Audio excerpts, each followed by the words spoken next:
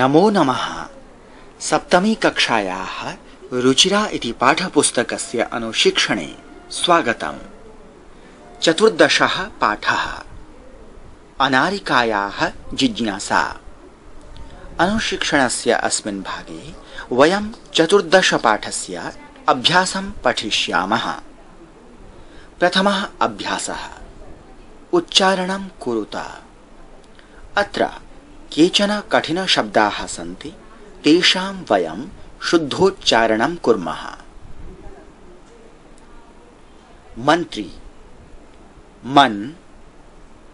त्रि। मन्त्री।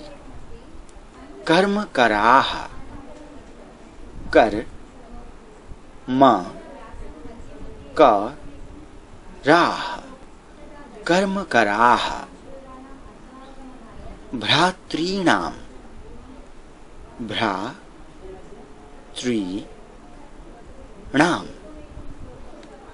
भ्रातॄणां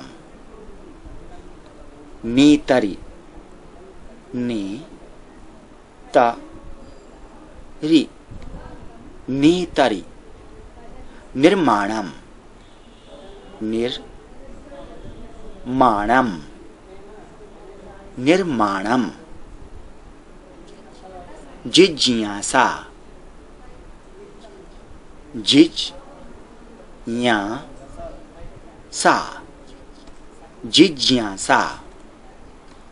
उद्घाटनार्थम। उद घा ट नार थम उद्घाटनार्थम। अपृच्छत। अ। पृच्छ छत अपृच्छत। भ्रात्रा भ्रा त रा। भ्रात्रा पित्रे पित रे पित्रे। पितृभ्यां पितृ भ्याम। पितृभ्यां चिन्तयन्ति। चिन्त यन्ति चिन्तयन्ति। द्वितीयः अभ्यास। अधोलिखितानां प्रश्नानाम् उत्तराणि लिखत। अत्र दत्तानां प्रश्नानाम् उत्तराणि पाठाधारेण करिष्यामः। तत्र प्रथमं प्रश्नं पश्यन्तु। किम् अस्ति? क? कस्याः महती जिज्ञासा अस्ति? इति अस्ति। पाठभागं पश्यन्तु। तत्र पाठस्य प्रथमपङ्क्तौ एव, बालिकायाः अनारिकायाः मनसि सर्वदा महती जिज्ञासा भवति। इति अस्ति किल? एतेन स्पष्टम् अस्ति यत् बालिकायाः, अनारिकायाः महती जिज्ञासा वर्तते। कस्याः इति प्रश्नवाचकं पदं षष्ठीविभक्तौ एकवचने भवति। बालिकायाः इति पदम् अपि षष्ठीविभक्तौ एकवचने भवति।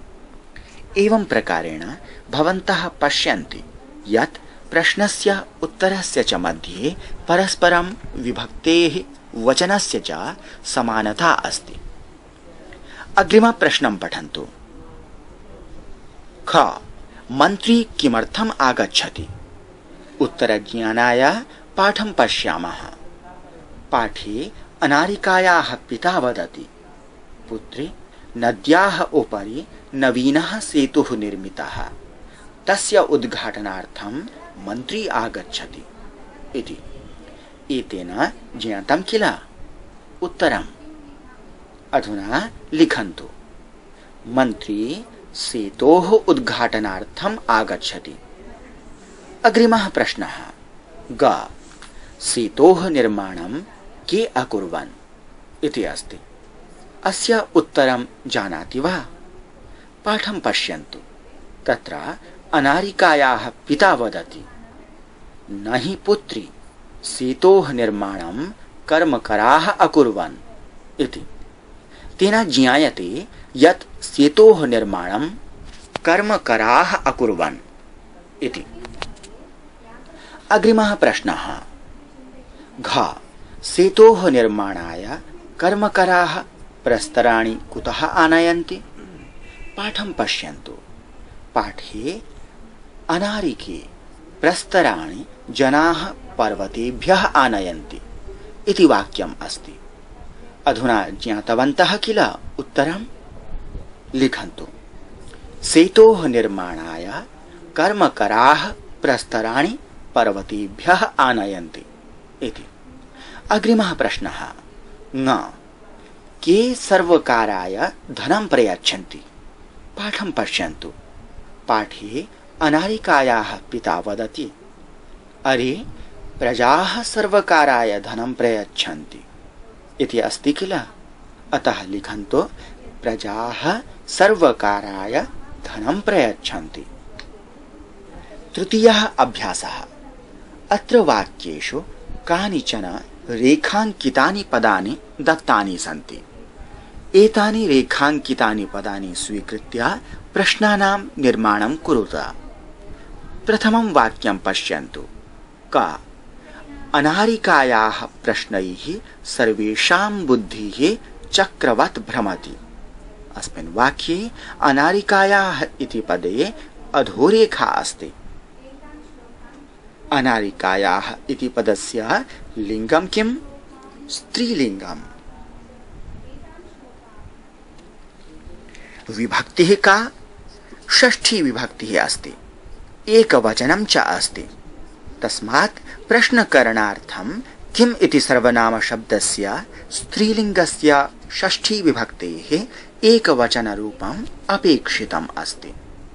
कस्याः इति रूपं भवति। तत् योजयामः।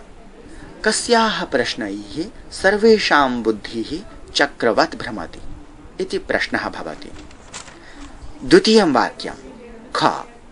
मन्त्री सेतोः उद्घाटनार्थम् आगच्छति। अस्मिन् वाक्ये उद्घाटनार्थम् इति पदे अधोरेखा अस्ति। अस्मिन् वाक्ये मन्त्रिणः कार्यं सूचितं किल? तस्मात् किमर्थम् इति प्रश्नार्थकशब्देन प्रश्ननिर्माणं कुर्मः। मन्त्री किमर्थम् आगच्छति? इति। मन्त्री सेतोः उद्घाटनार्थम् आगच्छति। ग। कर्मकराः सेतोः निर्माणं कुर्वन्ति। अस्मिन् वाक्ये कर्मकराः इति पदे अधोरेखा अस्ति। कर्मकराः इति पुंलिङ्गपदम् अस्ति। अत्र प्रथमा विभक्तिः बहुवचनं च अस्ति।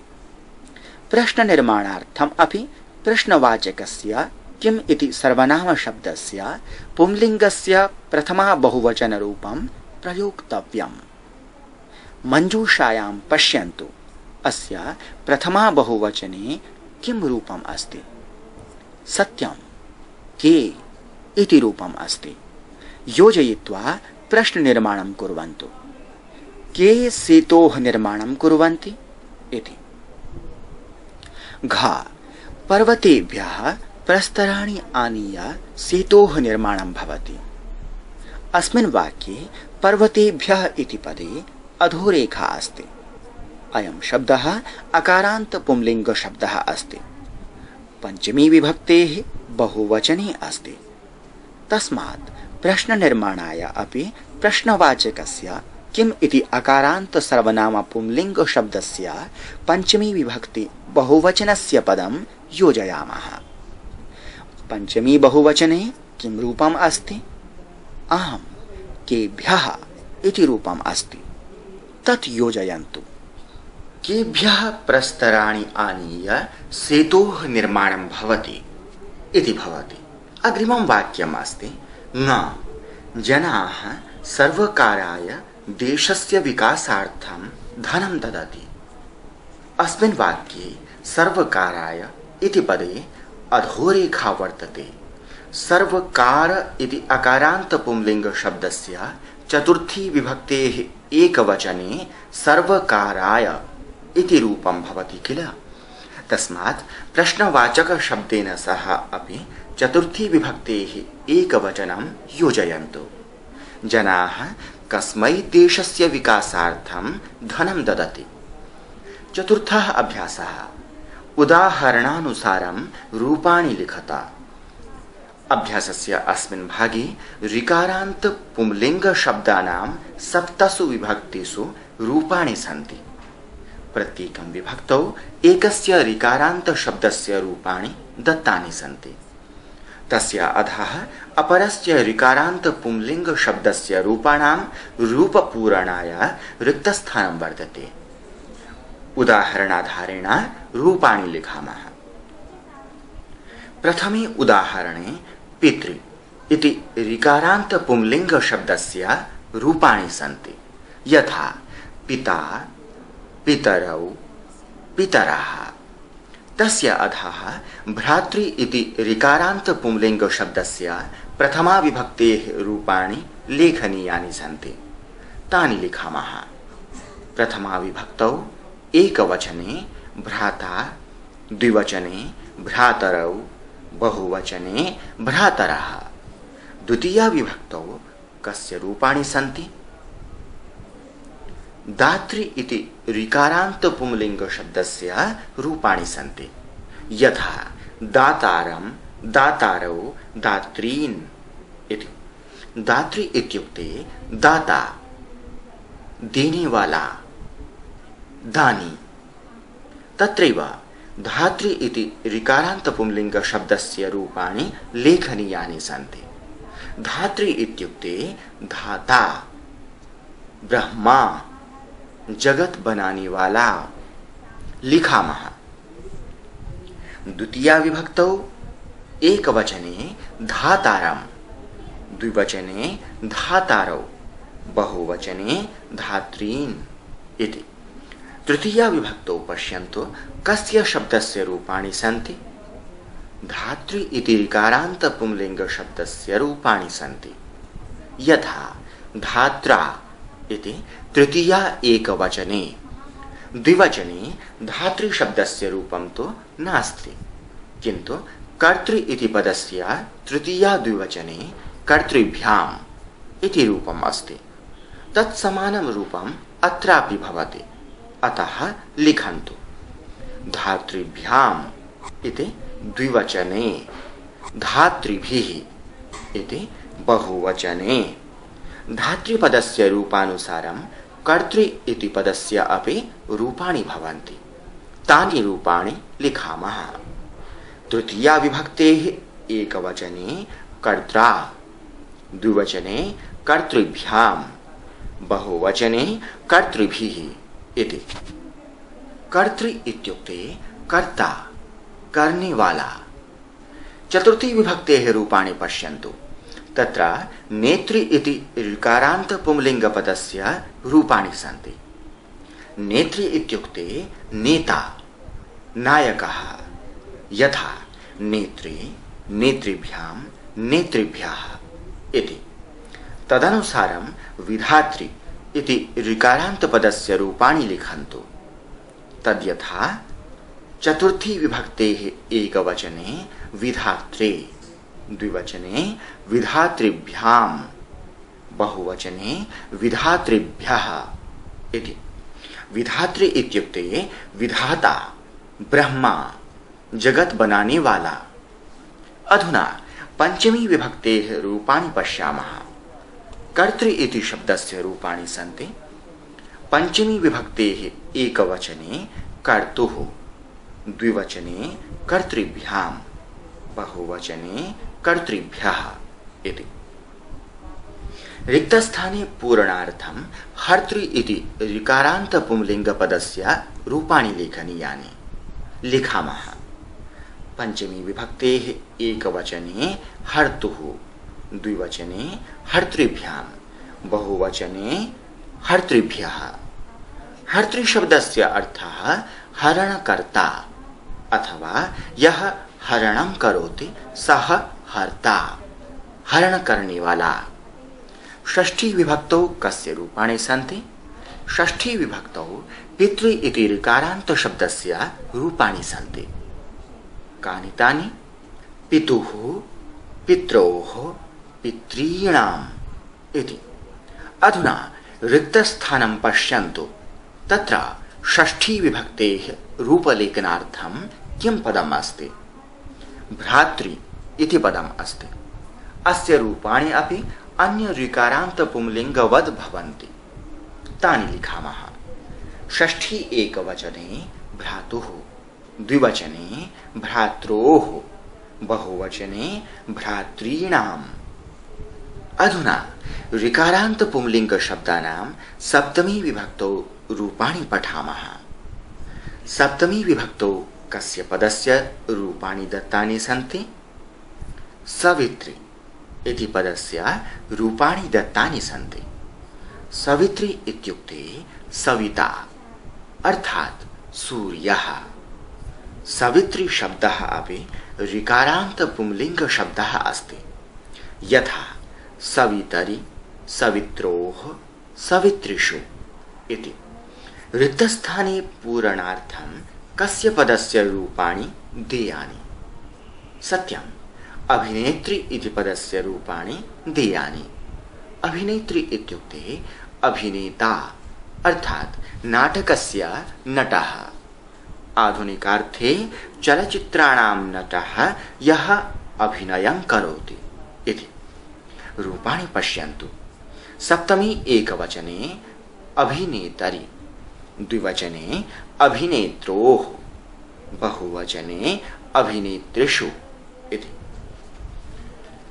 अधुना ऋकारान्त पुंलिङ्गपदानां सम्बोधनरूपाणि पठामः। अत्र जामातृ इति पदस्य सम्बोधनरूपाणि पठितानि सन्ति। जामातृ इत्युक्ते जामाता, अर्थात् पुत्र्याः पतिः इत्यर्थः। दामाद। यथा संबोधन एकवचने हे जामातः, द्विवचने हे जामातरौ। बहुवचने, हे जा जामातरः इति। रिक्तस्थाने कस्य पदस्य रूपाणि लेखनीयानि? सत्यं। नप्त्रि इति पदस्य रूपाणि लेखनीयानि। नप्त्रि इत्युक्ते नप्ता, अर्थात् पुत्र्याः पुत्रः अथवा दोहिता, नाति। अस्य संबोधने अपि जामातृ रूपवत् इव रूपाणि भवन्ति। यथा संबोधन एकवचने, हे नप्ताः द्विवचने, हे नप्तारौ। बहुवचने, हे नप्तारः। इति। प्रियछात्राः पश्यन्तु। अत्र यानि पितृ, भ्रातृ, दातृ, धातृ, कर्तृ, नेतृ विधातृ प्रमुखानि पदानि सन्ति, तानि पुंलिङ्गपदानि सन्ति। तेषाम् अन्ते रि इति वर्णः अस्ति। तस्मात् तानि पदानि ऋकारान्तपदानि। अत्र भिन्न भिन्न पदानां भिन्न भिन्न विभक्तिषु रूपाणि सन्ति। यथा पितृशब्दस्य प्रथमा विभक्तौ, दातृशब्दस्य द्वितीया विभक्तौ नेतृशब्दस्य चतुर्थ्यां विभक्तौ इत्यादि। एतेन ज्ञायते यत् ऋकारान्त पुंलिङ्ग शब्दानां रूपाणि प्रायः समानानि भवन्ति। क्वचित् अल्पभिन्नता अपि अस्ति, तदग्रे स्पष्टं भविष्यति। भवन्तः अत्र दत्तानां भिन्नभिन्नपदानां सर्वाणि रूपाणि लिखन्तु। पञ्चमः अभ्यासः। कोष्ठकेभ्यः समुचितपदानि चित्वा रिक्तस्थानानि पूरयता। अभ्यासस्य अस्मिन् भागे ऋकारान्तपुंलिङ्गपदैः रिक्तस्थानपूरणाय व्यवस्था अस्ति। कोष्ठके विद्यमानपदाभ्याम् उपयुक्तं पदं चित्वा रिक्तस्थानं पूरयामः। प्रथमं वाक्यं पश्यन्तु। क। अहं प्रातः सः भ्रमणाय गच्छामि।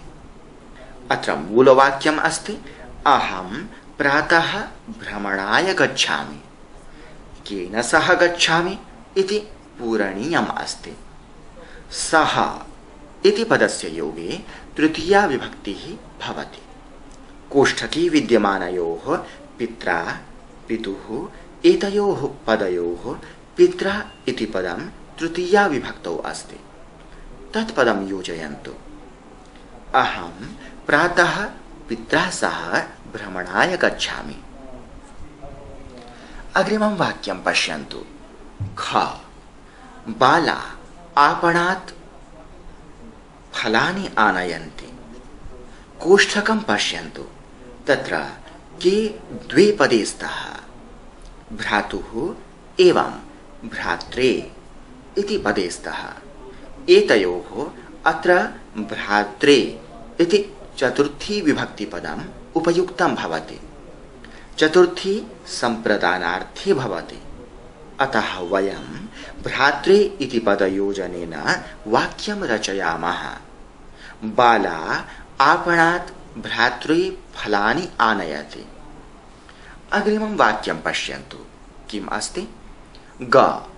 कर्मकराः सेतोः निर्माणस्य भवन्ति इति अस्ति। अस्मिन् कोष्ठके कर्तारं तथा कर्तारः इति द्वे पदे स्तः। एतयोः कः शब्दः अस्मिन् वाक्ये उपयुक्तः भवेत्? कर्तारः इति शब्दः उपयुक्तः। किमर्थम् इति जानाति वा? यतः अत्र सेतोः निर्माणं ये कुर्वन्ति, ते कर्मकराः सन्ति। अर्थात् कर्मकराः सेतोः कर्तारः सन्ति। कर्तारः इति पदं कर्मकराः इति पदस्य विशेषणं भवति। कर्मकराः इति पदं विशेष्यं भवति। विशेष्यस्य यत् वचनं या च विभक्तिः भवति। तदेव वचनं सा एव च विभक्तिः विशेषणस्य अपि भवति इति नियमः अस्ति। अतः वाक्यं दृष्ट्वा वदन्तु। कर्मकराः इति विशेष्यपदस्य किं वचनम् अस्ति? उत्तमं बहुवचनम् अस्ति। अत्र का विभक्तिः अस्ति? समीचीनं प्रथमा विभक्तिः अस्ति। कर्तारः इत्यत्र एव प्रथमा विभक्तेः बहुवचनं च अस्ति कर्तारम् इत्यत्र तु द्वितीया विभक्तिः एकवचनम् अस्ति। अतः रिक्तस्थाने कर्तारः इति पदम् आगच्छेत्। तत् लिखन्तु। कर्मकराः सेतोः निर्माणस्य कर्तारः भवन्ति। अग्रिमं वाक्यं पश्यन्तु। घ। मम। तु एतेषां प्रश्नानाम् उत्तराणि अददात् इति। अस्य वाक्यस्य कोष्ठके पिता एवं पितरः इति पदद्वयम् अस्ति। अधुना एतयोः किं पदम् उपयुक्तम् इति निर्णयार्थं पुनः वाक्यं पश्यन्तु। वाक्ये क्रियापदम् अददात् इति लङ्लकारस्य प्रथमपुरुष एकवचनम् अस्ति। तस्मात् क्रियायाः कर्ता अपि एकवचने एव भवति।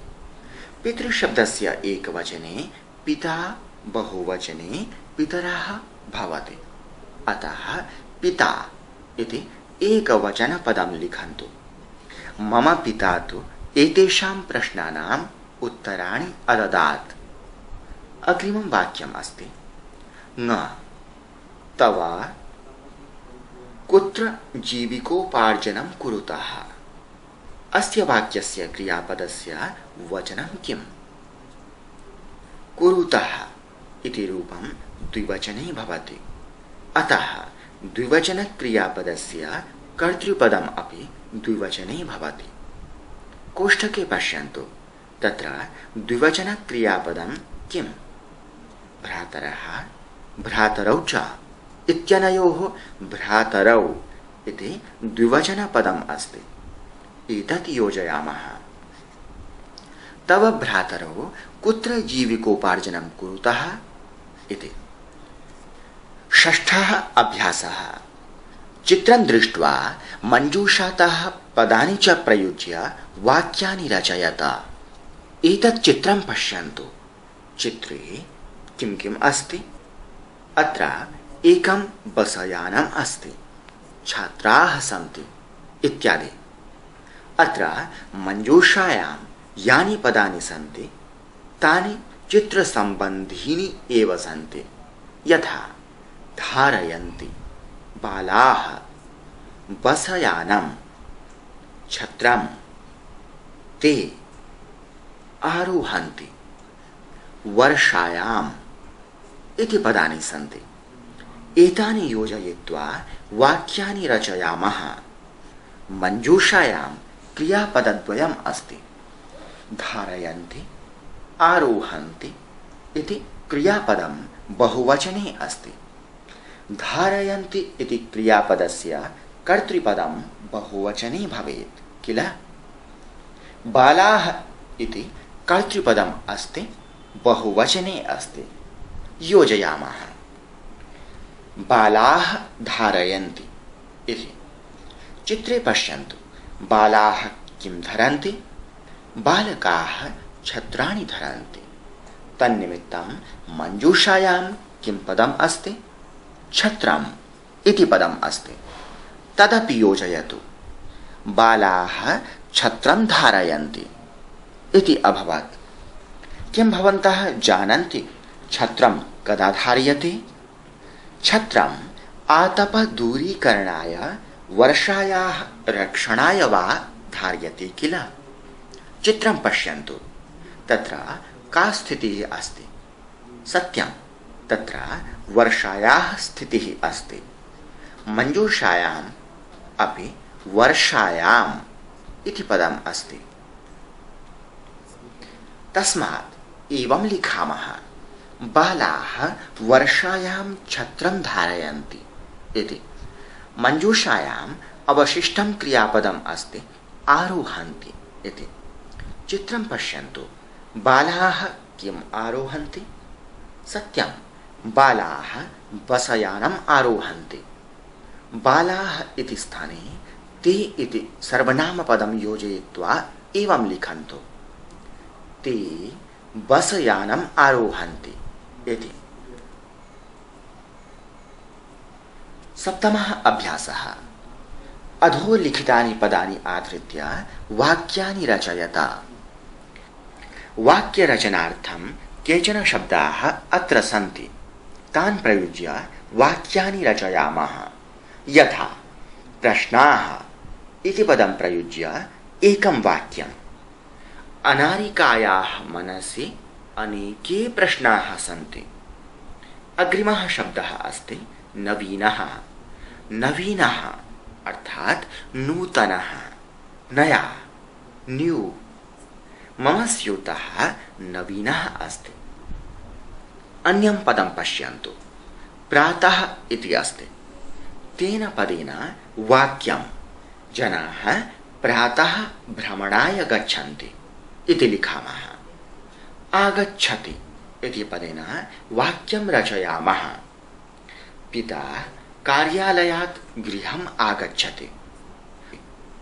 प्रसन्नः शब्दं स्वीकृत्य अपि वाक्यं निर्मामः।